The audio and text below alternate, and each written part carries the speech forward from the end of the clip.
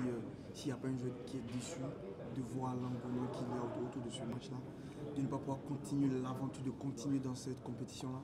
C'est vraiment dommage et voilà, c'est sur, cette finale que moi je suis resté. Est-ce qui se passe autour de toi t'a perturbé dans ta prestation ce soir? Non, non, à vous, de me le dire. Je ne sais pas si j'ai été perdu, si j'ai été en dessous de ce que j'ai je, je demande d'habitude, mais on est tombé sur une équipe qui était, qui était très très bien